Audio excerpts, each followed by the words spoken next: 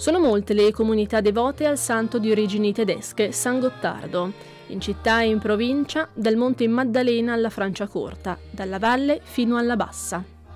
Martedì mattina anche il vescovo Pierantonio Tremolada era a Calcio, sul confine tra Brescia e Bergamo, per rendere omaggio al patrono di origini tedesche. A Paderno Franciacorta a celebrare c'era invece il vescovo emerito Luciano Monari. Un'altra comunità tra le più devote è quella trenzanese, dove ogni anno la processione richiama centinaia di persone. Lo scorso anno la processione chiedeva al santo la fine del virus. San Gottardo e il 4 maggio. Anche da paesi distanti venivano qui a venerarlo. L'auspicio espresso lo scorso anno di una rapida conclusione della pandemia è andato purtroppo deluso. Ci auguriamo di poter presto tornare alla normalità, ma credo che per molto tempo ci sarà sempre un ante ed un post Covid-19.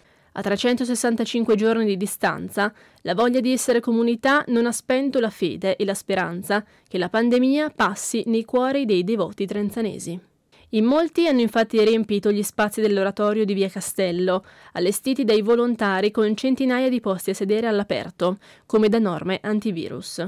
L'oratorio oggi è un po' la nostra chiesa, quindi per tutto il giorno potete venire a accompagnare anche le persone care, stato del santo e la reliquia rimarranno qui in oratorio. La Santa Messa è stata celebrata da Don Giovanni Milesi, che ha ricordato la bellezza dell'essere comunità unita, nel luogo dell'eccellenza per la formazione giovanile, l'oratorio.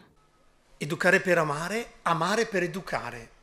In questo luogo, ma che è fatto di persone e di relazioni, si possa coltivare un pochettino uno stile e delle relazioni un po' diverse. Io oserei dire, la butto lì, fraterne, le celebrazioni iniziate domenica 2 sono continuate fino alla sera del 5 maggio, come da tradizione appuntamento di chiusura della sagra dedicata a San Gottardo.